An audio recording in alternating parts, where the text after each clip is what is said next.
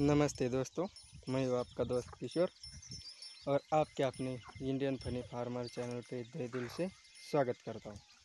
चलो दोस्तों तो आज हम जानने वाले कि चूज़ों की हम ठंड के दिनों में देखभाल कैसे रख सकते हैं। आप देख सकते हैं, चलो आपको दिखाते वो ब्रैकेट जो हमने, जो ड्रम होता है, पानी का, उससे बनाए थे, दो, क्योंकि हमने दो मुर्गियाँ बिठाई हुई है। आपने पिछले वीडियो में देखा होगा, ये रहा एक, और इसमें जो पत्ते ये नारियल के पत्ते जो नारियल का पेड़ रहता है, उसके पत्ते छोटे छोटे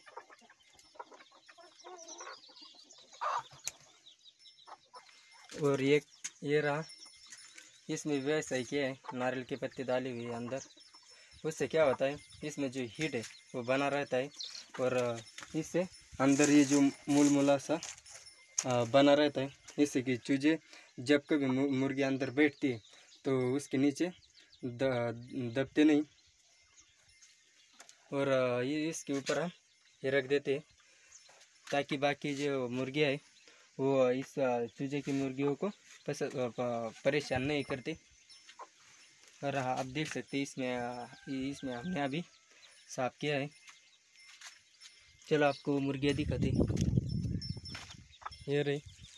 चूजों का आप ठंड के दिनों में जितना बचा होगी, उतना ही वो अच्छा रहते। और एक भी चूजा जो है, मरता नहीं। और इसमें, इसको खाने के लिए भी हम क्या ठंड के दिनों में बाजरा डालते हैं, क्योंकि आप सबको तो मालूम होगा, बाजरे में भी काफ़ी रहता है। तो ठंड के दिनों में बाजरा डालना पड़ता है। और इस चूजे को बड़ा होने के लिए चार चार या पाँच दिनों में एक बार चावल खिलाना पड़ता है। ये बहुत जल्दी बड़े होते आपको चार चार या साढ़े चार महीने के दिखाते बच्चे। ये रहा ये ये लाल ये इधर एक मुर्गी है। ये मुर्गा या ये मुर्गा है और वो, वो ये या है। ये चार साढ़े चार महीने के हो गए। ये क्या रही है एक सफ़ेद सफ़ेद दिख रही है। उसके पीछे ये देख सकते हैं। और ये जब हम इसे खुले में छोड़ दे तो देख सकते हैं आप। मुर्गी इनको सिखा रही है क्या क्या खाना है, क्या नहीं खाना है। लेकिन हम जब इसको अंदर कई जगह पर रखते तो हमारे जो मन में आए, वो इसे डालते। तो क्या होता है, इनकी ग्रोथ अच्छी नहीं होती, इन्हें आने को बीमारियाँ जड़ जाती है। उस बीमारियों के कारणवश क्या होता है कि हमारे चूजे और ये बड़े बड़े मुर्गे, मुर्गियाँ, ये जो है, मरने के चांसेस बने रहते। और आप क्या करें, इसको जो ये, चलो आपको दिखा दें, ये ये जो खुरड़ा है, इसका मुर्गियों को रहने के लिए रात को। तो इसका आप साफ़ सुथरा रखें।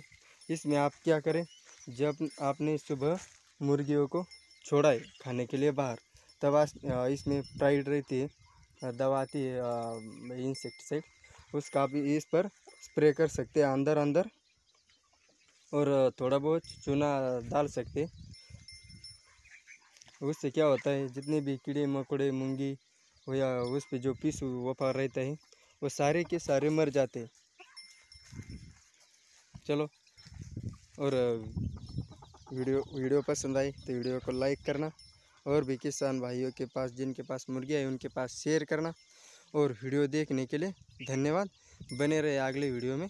अगले वीडियो तक हमारे Indian funny farmer YouTube channel पर ऐसी नई नई जानकारी और वीडियो आपके लिए लेते आएँगे। आप भी इस ब्रैकेट की, ऐसे ब्रैकेट की व्यवस्था कर सकते हो। आपके पास ड्रम नहीं है तो कोई बात नहीं।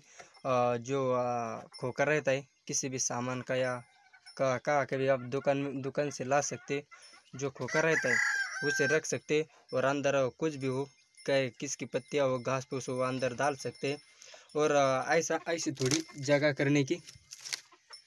क्या होता है, जगह की हमने अंदर, यहाँ पे जगह करी है। तो उसके बाद यहाँ पे जो चूजे बैठते हैं, उसके ऊपर मुर्गी और मुर्गी के ऊपर जब हम ढक्कन रखते तो मुर्गी अंदर अच्छे से इधर उधर जा सकती है, ऐसा ढक्कन रखने का। तो उससे क्या होता है, हीट जो है इसका अंदर का, वह बना रहता है। और जो चूजे है, उसको काफ़ी ठंड लगती है जब ठंड बढ़ जाती है तो हमारे चूजे मरने के चांसेस बने रहते हैं। तो हमें ठंड के दिनों में चूज़ों की अच्छी देखभाल करनी चाहिए, क्योंकि ठंड के दिनों में जो जो भी चूजे निकलते वो बहुत अच्छे निकलते हैं और बहुत जल्दी बढ़ जाते हैं। चलो आपको एक बार सब, सभी मुर्गे दिखा देते हैं। इनकी ग्रोथ मानो इतनी अच्छी हो गई। बहुत ही अच्छी ग्रोथ हो गई।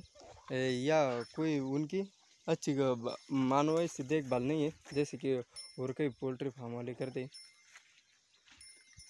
लाइट हो पानी का रहता है, खाने का रहता है, वैसा कुछ नहीं इसे हम सुबह छोड़ते सूरज निकलने से पहले और सूरज डूबने के बाद इसे अंदर बंद कर देते